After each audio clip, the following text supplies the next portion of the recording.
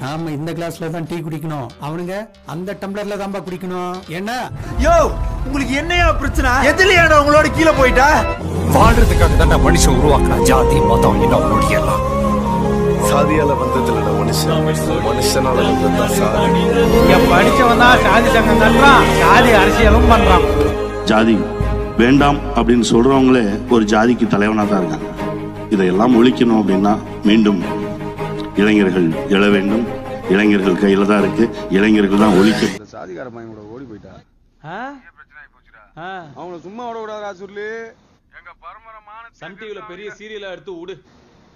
நாட்டு எல்லையை தாண்டினா நம்ம மொத்த பெரிய வெள்ளக்காரன் கீழ் சாதியா தானே பாக்குறான் இதுல நீ வேற அந்த சாதி இந்த மயிரை புடிச்சிட்டு தொங்கு. சாட்டை எடுத்து நாட்டை திருத்து.